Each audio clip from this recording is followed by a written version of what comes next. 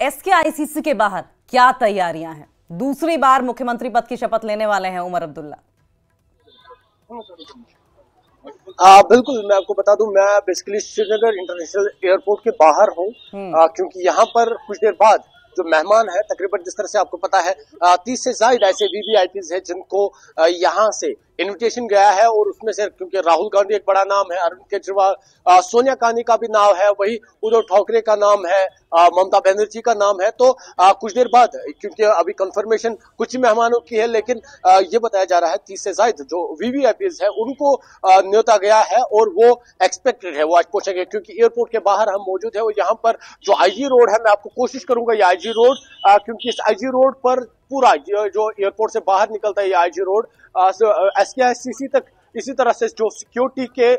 चौकस इंतज़ाम रखे गए हैं, बात चाहे सीआरपीएफ की हो एसएसबी की हो, जम्मू कश्मीर पुलिस की हो तो इस रूट पर, इस रूट पर लगातार आपको देखने को मिलेगा। सिक्योरिटी फोर्सेस लगातार तैनात है ताकि जो वीवीआईपी आएँगे, उनको किसी भी तरह की कोई मुश्किल का सामना ना हो और वो आराम से एस के आई सी सी पहुँचे। क्योंकि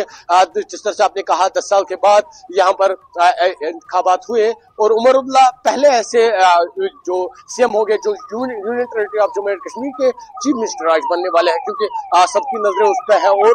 क्योंकि leader of opposition Rahul Gandhi आने वाला है तो उस पर ज़्यादा नज़र है। यहाँ पर कई मकाम पर कांग्रेस के वर्कर्स है, आम आदमी पार्टी के वर्कर्स है, अपने जो लीडर्स है, उनका वेलकम करने के क्योंकि हमने इस आई रोड का भी दौरा किया। मुख्तलि मकाम पर होर्डिंग्स लगी है, जिस पर जो राहुल गांधी है, उसको वेलकम किया जा रहा है। तो कहीं ना कहीं, क्योंकि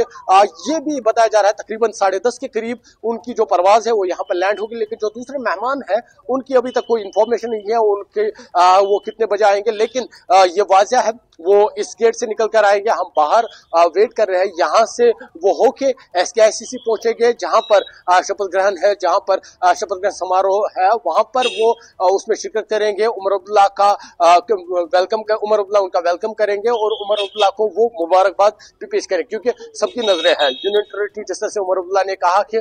वो कोशिश करेंगे जल्द से जल्द जो रियासती दर्जा हो वो बहाल हो सरकार को वो मोटिवेट करे, रियासती दर्जा बहाल होने के, हालाँकि उन्होंने ये भी कहा कि वो पहले ऐसे चीफ मिनिस्टर होंगे जो union territory Jammu and Kashmir के सीएम होंगे। और जिससे आपको पता है, क्योंकि कई तरह के बयान सामने आए थे और कई तरह की सियासत उन बयान को हुई थी, लेकिन आज जो नज़रें है, वो सीएम उमर उल्ला पर रहेगी, जब वो अपना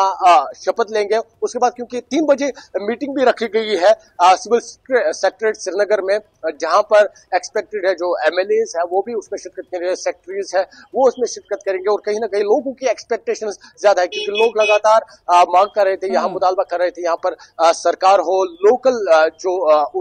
चुने लोकल रिप्रेजेंटेशन हो और खापूरा हुआ आज यहाँ की अपने लोगों की सरकार बनने जा रही है और